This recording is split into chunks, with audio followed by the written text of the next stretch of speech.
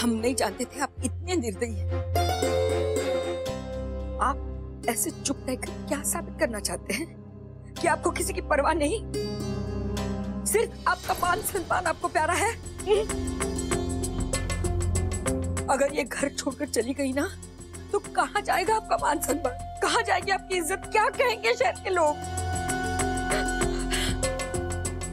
लोगों की छोटी लेकिन आप अपनी नज़र में घिर जाएँगे। अपने आप से आँखें नहीं मिला सकेंगे आप फिर कभी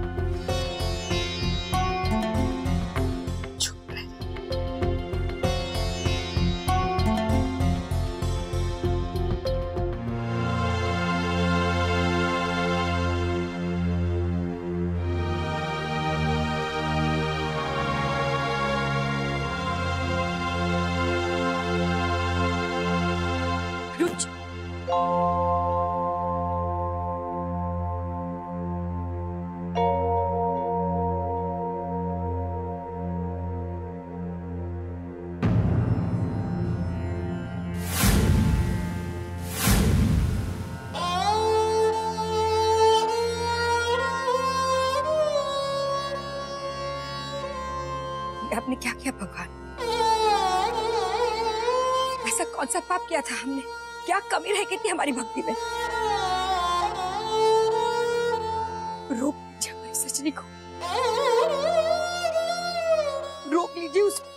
देविका को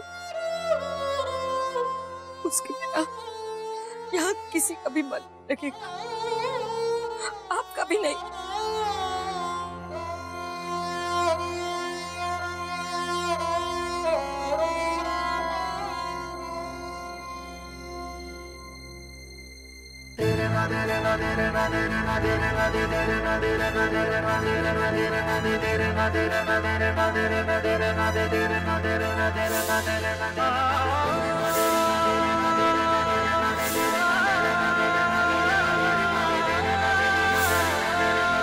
पूरा बनारस शहर जानता है कि राघव अब सिर्फ़ हमारे लिए नहीं, पूरे घर के लिए मर चुका है। सौका देविका मिश्र आत्मज स्वर्गीय राघव शंकर मिश्र। सब लोग मिलकर ईश्वर की प्रार्थना करें कि वो राघव की आत्मा को हमेशा हमेशा के लिए शांति प्रदान करे।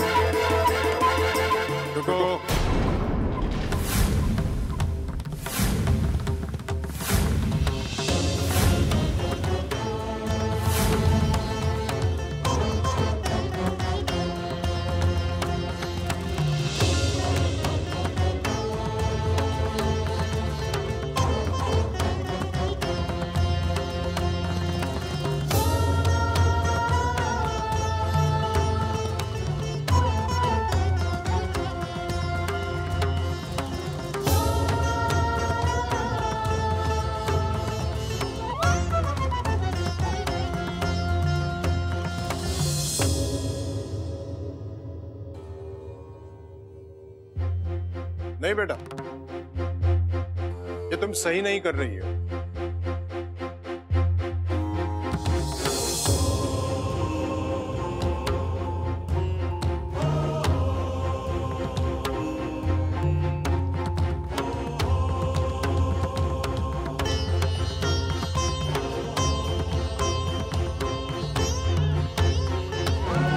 ये तुम्हारी धारणा गलत है कि राघव के इस घर में ना रहने से इस घर में तुम्हें रहने का कोई अधिकार नहीं। बिल्कुल गलत है। अगर तुम्हें आज ऐसा लगता भी है तो पहले हमारे इस सवाल का जवाब दो। पिछले 22 सालों में राघव ने अपनी निजी ज़िंदगी में जो कुछ भी किया है, उसके लिए हमने कहीं तुम्हें जिम्मेदार ठहराया। उसके जाने के बाद उसे लेकर हमने कभी कोई ऐसी बात तुमसे कही जो हमने नहीं कहनी चाहिए? राघव के इस घर से जाने के बाद तुम्हारे प्रति और देविका के प्रति हमारी जितनी भी जिम्मेदारियाँ थी, उन्हें निभाने में हमसे कोई गलती हुई है? हमने कहीं कसर छोड़ी है? हमारे प्यार में, हमारी लगन में, रिश्ते में, स्नेह में, कहीं कोई खामियाँ नज़र आई तुम्हें? हमने ऐसा कभी नहीं कहा। हमें आपने वो सब कुछ दिया है जो एक बहू को मिलना चाहिए। मान, सम्मान, प्यार।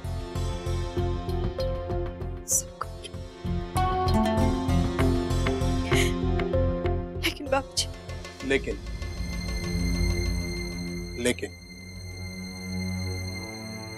वैसे तुमने ठीक ही कहा।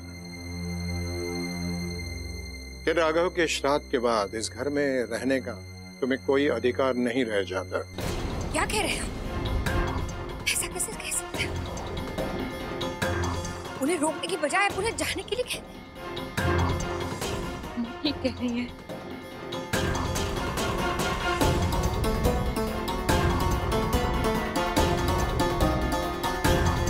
दुनिया के नज़रों में अब तुम्हें इस घर में रहने का कोई अधिकार नहीं।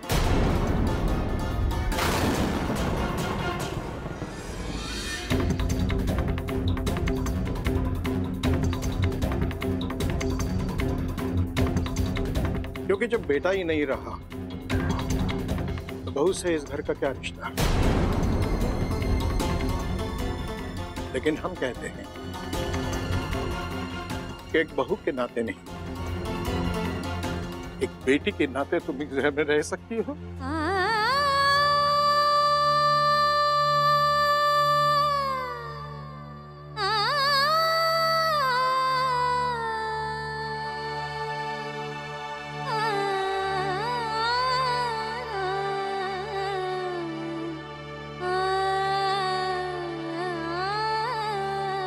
भूल जाओ कि तुम इस घर की बहू हो।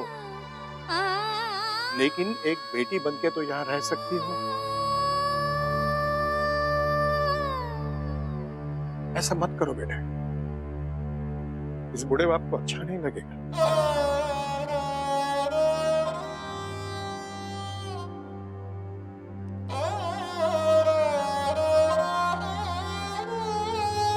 और देविका, ये तो हमारा गुरूर है। हमारे गुरुगुरु को तुम हमसे छीन कर ले जा रही हो।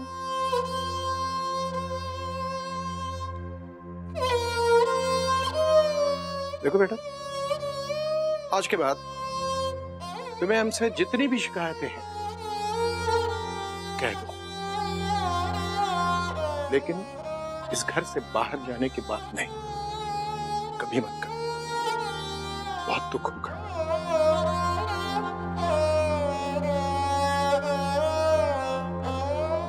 और अगर किसी को इस घर से बाहर जाना ही पड़ा कभी। पहले तो हम जाएँगे।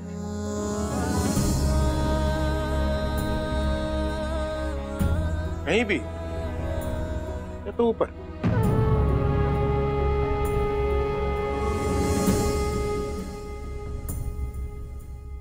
एक बात याद रहे। आज से ये हवेल, ये तुम्हारा ससुराल नहीं, ये तुम्हारा मायका है। और दुनिया की कोई भी ताकत एक बेटी को अपने घर से, मायके से निकालने का अधिकार नहीं रखती। मत जाओ बेटे। मत जाओ।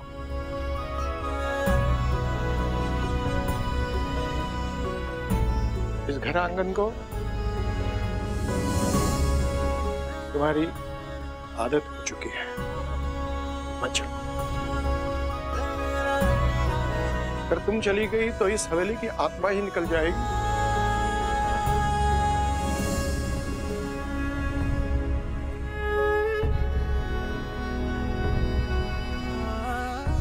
देविका। अपनी अम्मा को मत जाने दो। रोको उसे।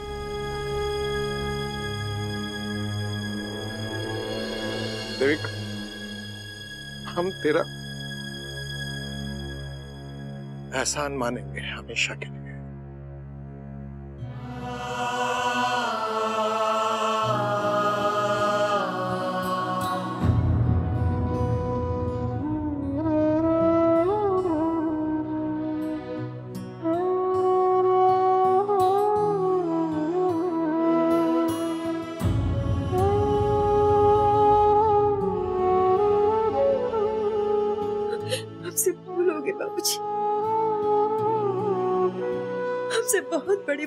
क्षमा कर दीजिए कैसी क्षमा कैसी माफ़ी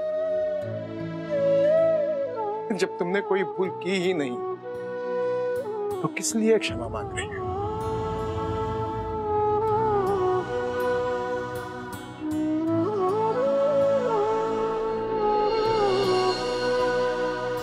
जानकी?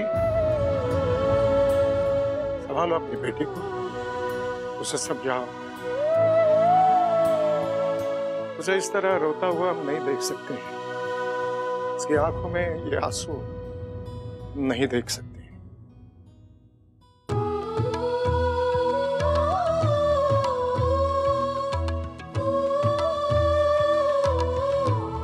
संभालो अपनी बेटी को और समझाओ।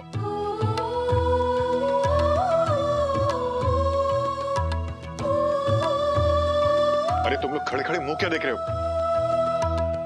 जाओ भाभी का सामान अंदर रखो। जी बाबूजी।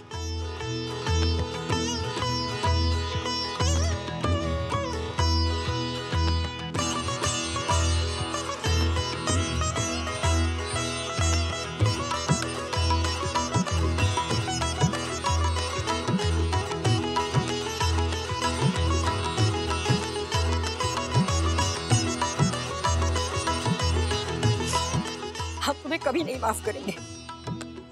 फिर कभी घर छोड़ने की बात की ना वो कभी नहीं माफ़ करेंगे हम तुम्हें। अब हम आपको छोड़कर कभी नहीं जाएँगे।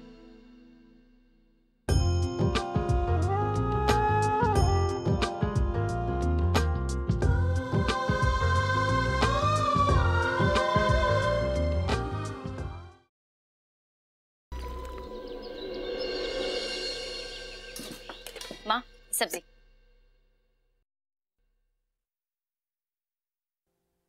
देविका कहाँ है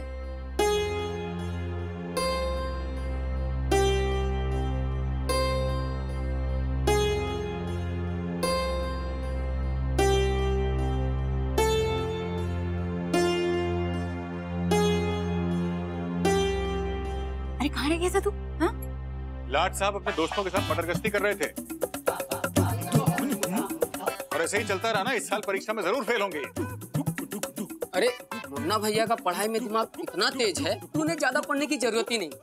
कम में बहुत ज़्यादा समझ लेते हैं। क्यों मुन्ना भैया? सही बोला ना मैंने।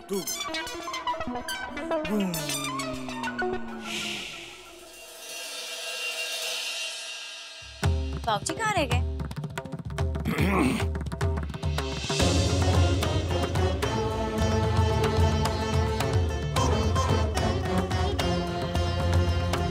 हाँ बेटा, सजनी। क्या खाना आज बनाया है? खाना लगा। चलो बैठो सब। लोग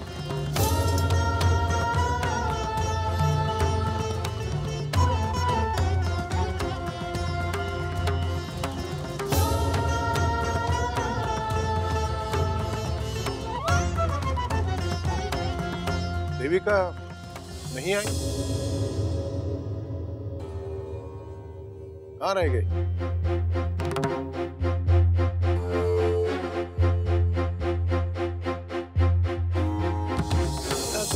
उसकी तबीयत खराब है। कल तक ठीक हो जाएगी। एक दिन खाना नहीं खाएगी तो लेकिन आज तक हमने बगैर देविका के खाना नहीं खाया।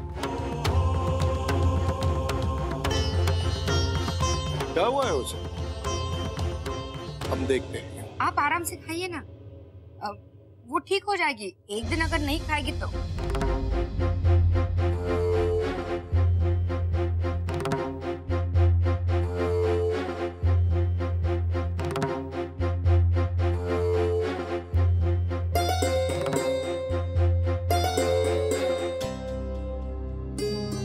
अब क्या होगा, अम्मा?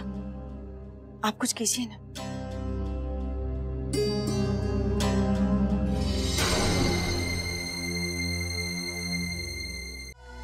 कोशिश कर रहे हैं कि हम स्वीकार कर ले अपनी नियति को। शायद भगवान को यही मंजूर आप भी स्वीकार कर लीजिए अम्मा। स्वीकार कर लीजिए कि आप अपने माँ का सिंदूर खो चुकी है। और अपने पापा को खो चुके हैं। खो चुके हैं हम दोनों उनको। हमेशा हमेशा के लिए। वो कभी वापस नहीं आएँगे अम्मा। कभी वापस नहीं आएँगे। माफ़ कर दीजिए अम्मा। हम अपने पिताजी को ढूँढने में असफल रहे।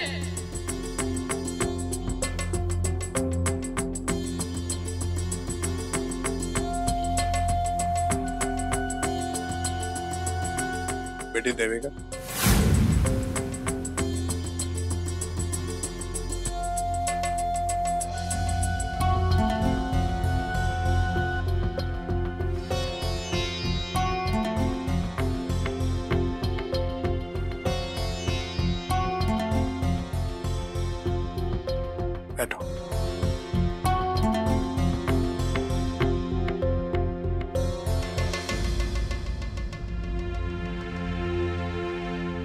बेटे देविका हम सब कुछ समझते हैं।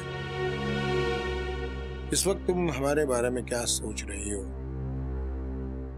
जानते हैं। कि हमारे ये दादाजी कितने कठोर हैं, निष्ठुर है, निर्दयी है। दिल नाम की कोई चीज़ इनके सीने में है या नहीं? ये हमारे पिता के बारे में ये ऐसी बातें कैसे कर सकते हैं? ये सारी चीज़ें कैसे कर सकते हैं? सब समझते। लेकिन बेटा, हम पर भरोसा करो। हम शायद हमारे बेटे राघव को उसने हमारे साथ जो कुछ भी किया है, सारी चीज़ों को भुलाकर हम उसे माफ़ कर भी देंगे। भूल जाएँगे सब कुछ। उसने जो कुछ भी किया है हमारे साथ, सब कुछ भूल जाएँगे। लेकिन हम तुम्हारे बाप को कभी माफ़ी नहीं तुम्हारी और तुम्हारी माँ की आँखों में जिस तरह के आँसू दिए हैं।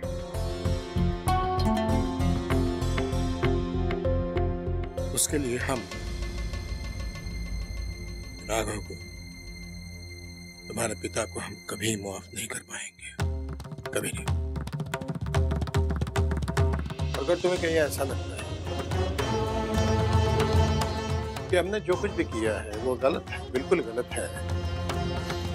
तो फिर मत आना। और उसके लिए हम तुम्हें कभी दोषी नहीं ठहराएँगे।